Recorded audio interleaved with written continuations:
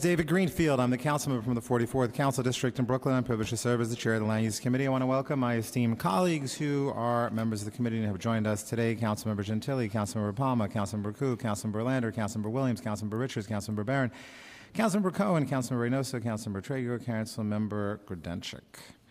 I want to thank Chair Salamanca, Chair Richards, and Chair Koo for outstanding work in our land use subcommittees, and uh, thanks to Councilmember Cohen for filling in as planning chair yesterday. We will be sure to appropriately compensate you at the appropriate time. Today we'll be voting on a resolution to approve LU 751, the Soho Tower Parking Special Permit. This is an application for a special permit pursuant to Section 13-45 of the zoning resolution to permit an automated parking facility with a maximum of 42 spaces on portions of the ground floor through fourth floor of a 25-story mixed-use building. This permit would apply to property located at 100 Varick Street in Councilmember Johnson's district.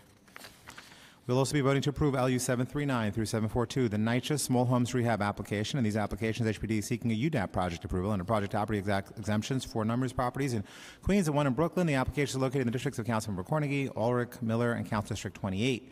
The approval would facilitate the rehabilitation- rehabilitation of 24 one to four family homes that would then be sold at prices affordable to families making 120% of AMI or less. We'll also be voting to approve reconsidered LU, the Hope Homes Cluster Tax Exemption application. In this application, HPD is seeking approval of an amendment to previously approved tax exemption for several properties in the Speaker and Councilmember Perkins District in Manhattan. The amendment would extend the term of the exemption from 10 years to 20 years.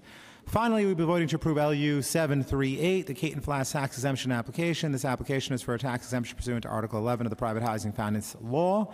This approval is a follow-up approval required to facilitate the development of a project we approved last April. The development would consist of a 14-story building that includes 255 affordable rental units, a commercial unit, a community facility space, and 68 parking spaces. The community facility and commercial spaces consist of Flatbush Caton Market, food incubator, and office space for Caribbean American Chamber of Commerce and Industry. The development is located in Council Member Eugene's district in Brooklyn. All of the council members support these respective applications that are in their district. Are there any questions or remarks on any of these applications? We will now move on to a vote in accordance with the recommendations of the subcommittee uh, with the support of local council members to approve LU 738 to 742, 751, and the preconsidered Hope Homes application. Will the clerk please call the roll? William Martin, Committee Clerk. Roll call vote, Committee on Land Use. All items are coupled. Chair Greenfield. I vote aye. Gentile. I vote aye on all. Palma. Koo.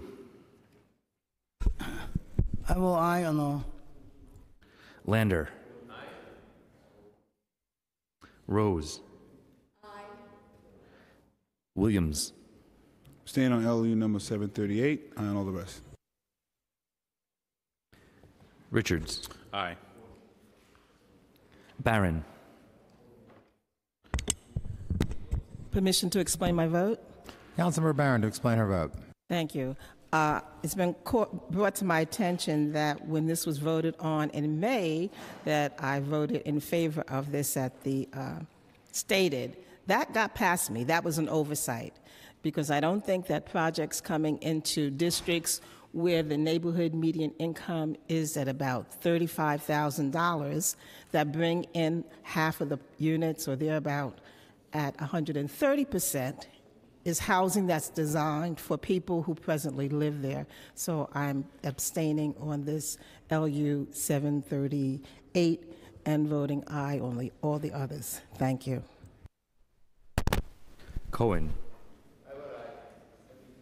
Reynoso. I vote aye. Treyger. Grodenchik.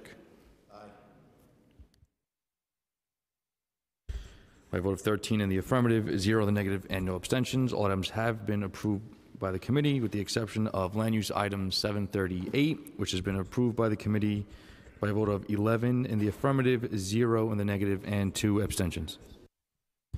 Thank you. As is our practice, we're going to keep the vote open for 15 more minutes till 11:50 a.m.